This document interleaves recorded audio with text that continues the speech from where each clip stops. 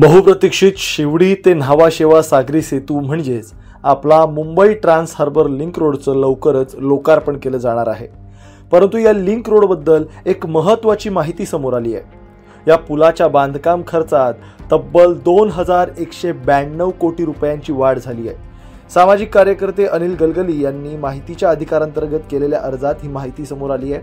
तब्बल बावीस किलोमीटर लांबीच्या या सागरी सेतूचं काम एप्रिल दोन हजार अठरामध्ये सुरू झाल्यानंतर सप्टेंबर दोन हजार तेवीसमध्ये ते पूर्ण होणं अपेक्षित होतं.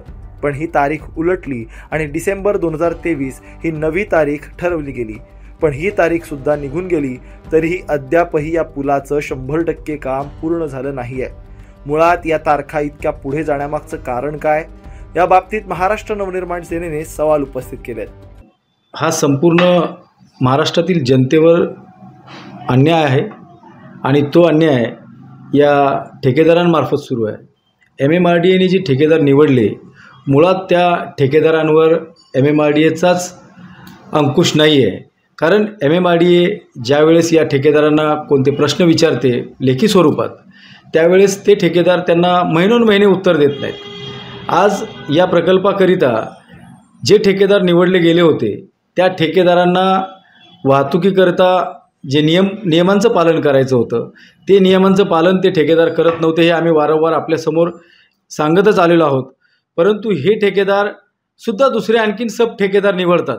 कारण त्यांच्याकडे सुद्धा तेवढी साहित्य सामुग्री तेवढे ॲसेट नसल्यामुळे अशा ठेकेदारांना निवडलं जातं. की जे या प्रकल्पाला सातत्याने सर्व्हिस देऊ शकतील.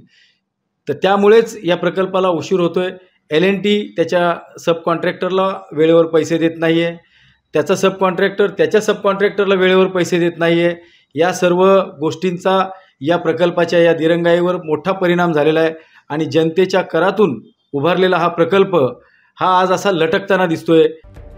या सेतूचं बांधकाम करतेवेळी साधारणतः चौदा हजार सातशे बारा पूर्णांक सत्तर कोटी रुपयांचा खर्च येणार होता. पण त्यामध्ये आता दोन हजार एकशे ब्याण्णव पूर्णांक त्र्याहत्तर कोटींची वाढ झाली आहे. ज्या चार टप्प्यांमध्ये या पुलाचं काम झालं त्यामध्ये ही रक्कम वाढली आहे. ही रक्कम कशी वाढत गेली ते ग्राफिक्सच्या माध्यमातून जाणून घेऊयात. पॅकेज एक मध्ये एल अँड टी कंपनी आणि आय एच आय या दोन कंपन्यां कंत्राटदार होत्या. त्याच्यामध्ये सात हजार सहाशे सदतीस पूर्णांक तीस कोटी रुपये हा मूळ खर्च होणार होता. पण त्यात नऊशे नव्याण्णव पूर्णांक सदुसष्ट कोटी रुपयांची वाढ झाली आहे आणि त्यामुळे पॅकेज एकवर एकूण खर्च करण्यात आला आहे. त्याची रक्कम आहे आठ हजार सहाशे छत्तीस पूर्णांक सत्त्याण्णव कोटी. पॅकेज दोनमध्ये देवू इंजिनिअरिंग आणि टाटा प्रोजेक्ट्स लिमिटेड जेव्ही या दोन कंपन्या कंत्राटदार होत्या. या पॅकेजमध्ये पाच हजार सहाशे बारा पूर्णांक एकसष्ट कोटी ही मूळ रक्कम खर्च होणार होती परंतु त्यामध्ये नऊशे छत्तीस पूर्णांक पंचेचाळीस कोटी रुपयांची वाढ झाली आणि आता एकूण खर्चाचे आकडा जर पाहिला तर तो होतोय सहा हजार पाचशे एकोणपन्नास पूर्णांक छत्तीस कोटी रुपये.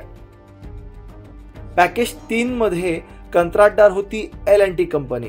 मूळ रक्कम एक हजार तेरा पूर्णांक एकोणऐंशी कोटी रुपयांची होती त्यामध्ये दोनशे बत्तीस पूर्णांक सदतीस कोटी रुपयांची वाढ झाली आणि आता एकूण खर्च जर आपण पॅकेज तीनवर झालेला पाहिला तर तो होतो एक हजार दोनशे सेहेचाळीस पूर्णांक सोळा कोटी रुपये.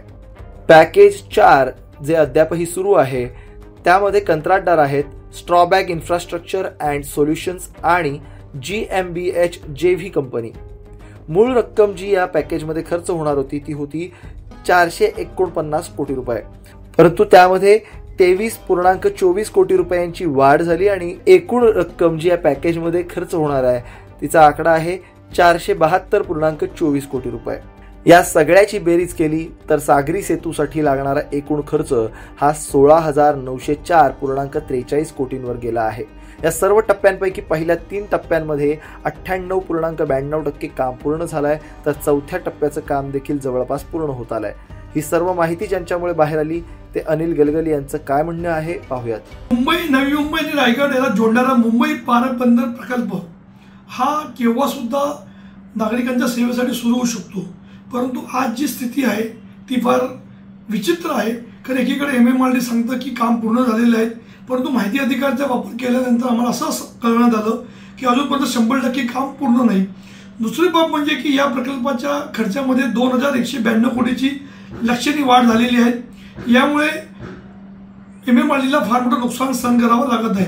परंतु ज्या कंत्राटदाराच्या चुकीमुळे त्याला दोनदा आपण वेगवेगळ्या डेडलाईन दिल्या तरीसुद्धा त्यांनी काम पूर्ण केलं नाही. त्यावरती कुठलाही दंड आकारलेला नाही. खरं म्हणजे मुंबई नवी मुंबई आणि रायगड याला जोडणारा हा सर्वात महत्त्वाचा प्रकल्प आहे. हा बावीस सप्टेंबर दोन हजार बावीसला पूर्ण होणं अपेक्षित होतं. परंतु काम वेळेमध्ये पूर्ण न झाल्यामुळे त्याला बावीस सप्टेंबर दोन हजार तेवीसची नवीन डेडलाईन दिली. तेव्हासुद्धा काम पूर्ण करण्यात न आल्यामुळे आता पंधरा डिसेंबर दोन हजार तेवीसची नवीन डेडलाईन होती. ती सुद्धा त्या कंत्राटदाराने मिस केलेली आहे. आमची सरकारकडे एवढीच मागणी आहे की वाढीव खर्च आपण देऊ नये आणि ज्या कंत्राटदारांच्या चुकीमुळे दिरंगाई झालेली आहेत त्याच्यावरती दंड आकारावा. आता कुठे या सागरी सेतूचं काम पूर्ण होत आलंय? पण जर मनसेनं उपस्थित केलेल्या प्रश्नांकडे पाहिलं तर कंत्राटदारांच्या दिरंगाईमुळे काम पूर्ण होण्यास विलंब झाल्याचं दिसून येत आहे आता पुलाचं लोकार्पण देखील लांबलं आहे नव्या वर्षात देशातील या सर्वात मोठ्या सागरी सेतूचं लोकार्पण होणार असल्याची चर्चा आहे पण तारीख काही अद्याप निश्चित केली गेलेली नाही. आता पूल नेमका केव्हा मुंबईकरांच्या सेवेत दाखल होतो हे पाहणं महत्त्वाचं असणार आहे. शुभम पाटील लोकमत मुंबई.